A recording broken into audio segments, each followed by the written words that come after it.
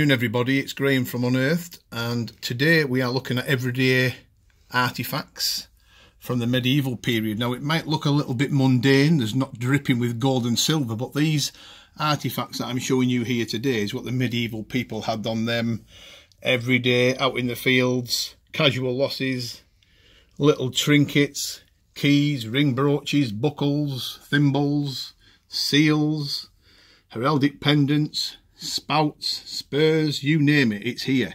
Now, you may come across these guys uh, in the field detecting, you may or may know not what they are. Uh, hopefully this video goes some way into showing you guys what you can find out in the field from the medieval period. So what we'll do, we'll start with this. This was found recently, and as you can see, it's still got mud in the teeth. That would have been part of a giant key. Uh, medieval key would have opened a huge oak door is my guessing. But look at the size of that. What a shame it's broke. Beautiful find. Uh, Partifact rather than artifact. But when you look at the finished article, there's one that's full. Now, that's a big key. Believe me, that's a big key. That would have opened a substantial door. But when you put it next to that, there's a huge difference in size. That dwarfs it. So that would have been an enormous key. So there, if you find the teeth end of it and you're wondering what it is in the murky mud and you see this design and you see the teeth and everything else, you, you're then going to think that's got to be a medieval key or part of it. So that's, uh, I hope that helps guys, gives you an idea. Sometimes you find these end bits and you think, oh, it could be Viking or it could be Saxon. Well, it's not, unfortunately, or fortunately, whichever way you look at it. It's the hand grip part of the key. You know, our keys nowadays are mundane, plain looking. The medieval period, you know, they made little lines on it. They made it stylized. They made everything look pretty. Um, and that would have been a beautiful find. Uh, way back in them days, it was a beautiful find. It would have been all shiny and bronze looking but it's still a fantastic find, one of my favourite medieval artefacts that. So we'll put that down. Over here we have more keys. Now these keys are casket keys, as you, as you can see. There's a whole host of different shapes and sizes. These would have been for caskets, small caskets, but I I'm thinking that these were worn around people's necks. We find too many of them in random places. Um, you can just imagine a bit of a cord through there and these little keys hanging around people's necks as maybe a good luck charm. I'm sure I read somewhere that the key represents um, a symbol to unlocking um, something somewhere. So it's I I'm pretty pretty sure that these represent something. These keys rather than an everyday item. Bit of a good luck symbol possibly. Who knows? but they're a fantastic find. You can find these just about anywhere. I found these length and breadth of Britain, up in Cumbria, down in Norfolk, Suffolk, Lincolnshire. They come up all over the place. But um, that gives you an idea what you can what you can uncover out in the field. Great little finds of casket keys. Now what we're going to do, we're going to move over to this uh, rather strange looking item. Um, I'll have to see if I can get that in. Now it's a huge artifact when you look at it, but it's actually a medieval purse bar frame. So that would have been suspended from somebody's belt. As you can see, there's two holes here, two holes there, which would have come all the way down here with the purse. Um, we, we find chunks of these, the ploughs hit them. So that section, you can probably see that if I'm hiding the rest of it with my finger. You'll come across that and you'll think, what is that with them two holes in it? Well, you know it's part of a bigger artifact. Medieval purse bar. Lovely find. Who would have had a loop here as well. Pity that we could, couldn't find the contents of the purse, but that's how it goes sometimes. So that's one purse bar. We find quite a lot of different styles of these, but this is just one example. Um, so I thought I'd show you that, uh, folks, if you find that of interest. Now, the next one is a common find. Um, people call them ring brooches, people call them ring buckles. We've always called them medieval ring brooches, uh, continue to do that. But you can see this is a bronze one in really good condition. Um, 14th, 15th century is my guess. Pin still intact. But you imagine if you found that without the pin, you'd be thinking, hmm, is it a horse harness ring? Or something similar. Well, it gives you an idea the pins are found separately quite often. This is one from Cumbria. As you can see, it's got an iron rotted, an, a rotting iron pin. Now, that pin disappeared, and I just found that ring, Would I have thought it was an, an early, you know, an early ring brooch buckle? Probably not.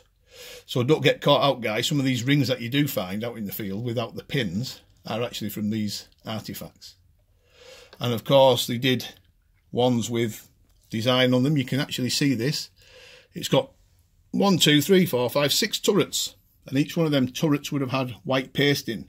So this would have looked quite uh, attractive when it was first found.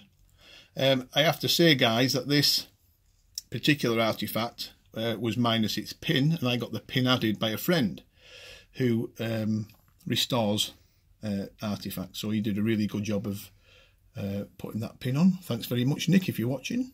You did a great job. But of course, that's a full one now. But of course, you find the incomplete ones, the broken ones. So if you wondered what that was when you've, you, you pulled it up out of the ground, what you know, what can it be with these little turrets on? That's what it is. It's part of a ring brooch. That would have been the same as that one with all the turrets going round. Unfortunately, broken by the plough. Uh, back to the ring brooches again, full ones. This one's a stylised one. It's got little grooves all the way around it with a bronze pin. Very attractive. And they are beautiful finds. There's no two ways about it. One of my favourite medieval artefacts. And of course you can find them. I've got these in the display case. You can find them really tiny. So as you can see, there's two tiny ones. They're that fragile and that delicate. I'm not even going to get it out of the frame. Um, quite, quite a lot of detail in them too. So keep that to one side. Uh, up next is this rather strange artifact. Now I see these on our Unearthed Facebook group. Uh, if you can hear a noise in the background, that's me moving around on the uh, on the seat, so I do apologise. Uh, this is an interesting artifact because I found this many, many moons ago, and I wondered and wondered what it was. Um, it turned out to be a 14th century spout, dog's head spout. As you can see, um, this is a dog's head with its ears there, eyes there, another ear at the back here. This would have been sweated onto a vessel, a wine vessel, and acted as a pouring. I don't know if you guys can see that, that action.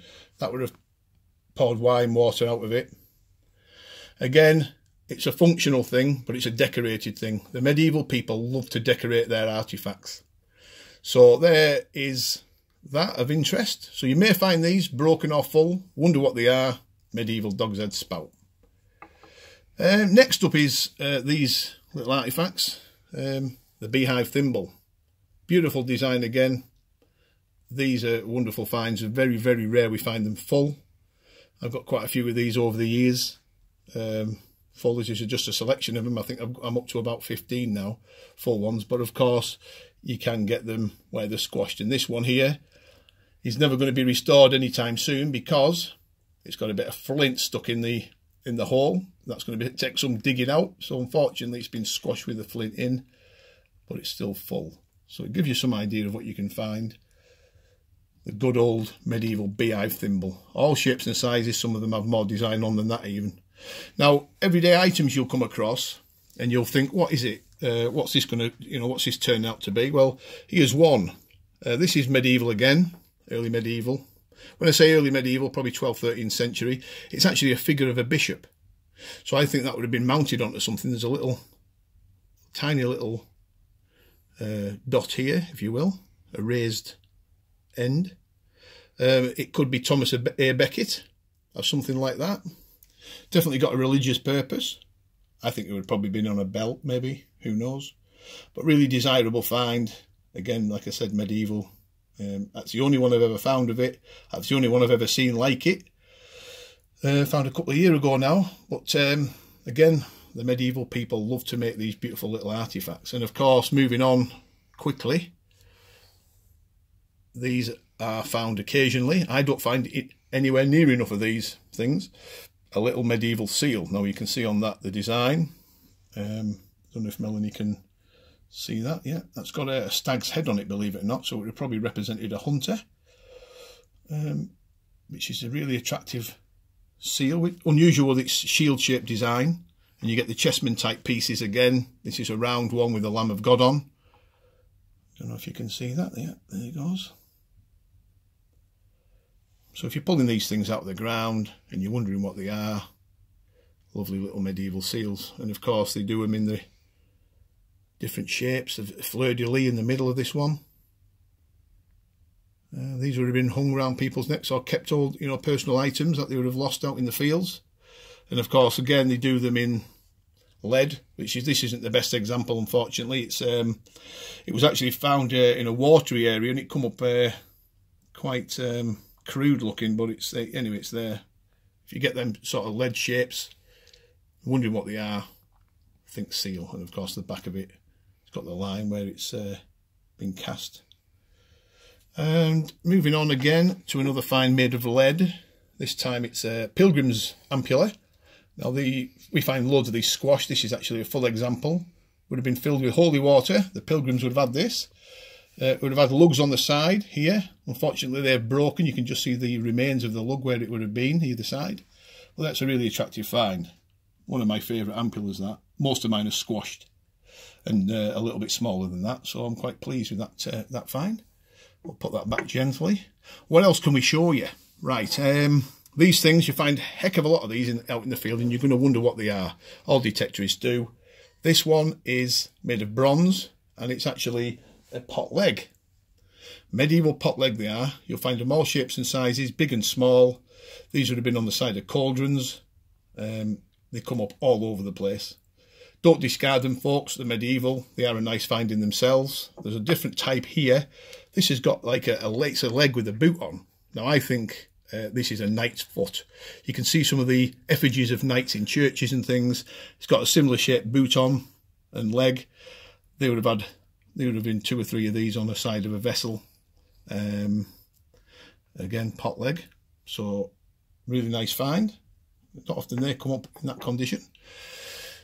Next up is these pendants, horse heraldic pendants or heraldic pendants types. We have one or two of these coming up every now and then. Again, I don't find nearly enough of these. This has got three lions on, would have had red enamel on it way back uh, when it was uh, in all its glory.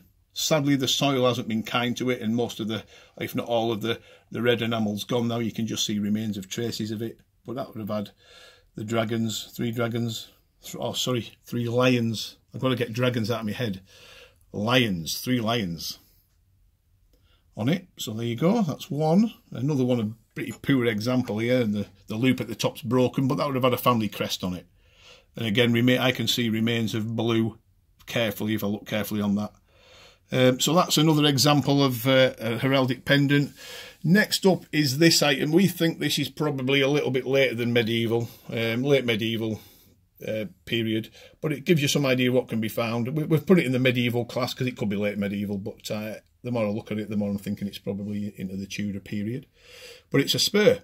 Now, isn't it a shame that it's broken? We'd have had another arm on identical to this going up, um, but it's sadly gone. But it nearly was full. We find a lot of these, so if you find them ends and you're wondering what them ends are, well, they're off spurs. So that gives you some idea, folks, of what they are. Now, we, when we do these videos, we could put posh backgrounds on and we could put them in categories, but I like them scattered and I can just pick them off and show you. Um, before we disappear, because the time's kicking on, these little belt mounts, as you can see up here, all different types of belt mounts uh, from the medieval period would have been on leather. And you can see some of them, this one here, ornate, it's got a king's head on it with a crown which is really nice. Found quite a few of them. Some are uh, a shell design from the pilgrims, representing pilgrims. Some of them have been wonderfully gold gilded. Um, these would have stood out in the times. You know what, there's a little pendant here with the, it still swings this, it's been gold gilded. It's got like a, a scallop shell design on the bottom, which represents the pilgrim. All sorts of weird and wonderful things from the medieval period. Now, last before we go, rather mundane find. Um, what is it? Everybody finds these from time to time. It's actually part of a medieval knife handle. The knife would have been in this groove here, but would have made of, been made of iron. That's long gone. It just leaves these little sections, medi little medieval knife handle. They come off quite a lot of sites. Um, you find them all over the place. You probably wonder what they are, and that's what it is. Now, this is a little interesting find. This was eyes only, of course, because it's made of clay. The little lady um, for years and years, I always thought and wished that she was medieval uh, because she's got like the uh, hood or the or the shroud. She's got something round her neck and holding something down, sadly broken. Uh, very delicate find. Just wandering around detecting on a field, and there she was lying on the top. I don't think she's medieval, but you never know. Um, it's probably a, quite a bit late, maybe Georgian period, but it gives you some idea of what you can find when you're searching for medieval artifacts. Uh, eyes only, keep your eyes peeled because these little finds come up from time to time. Your detector's not going to pick them up for obvious reasons, but you never know. You may find one just lying on the top. There she is in all her glory. Beautiful little find. I wish she was full, but uh, I've searched in vain for the rest of her, but she, I've never never found it since. So, folks, I hope that helps and it's give you some idea of the medieval finds that you can make out in the field. Please comment on the uh, YouTube thread. We'll do more of these videos in the next few weeks leading up to Christmas and beyond of different finds. But for now, happy hunting and stay tuned. Thanks for watching.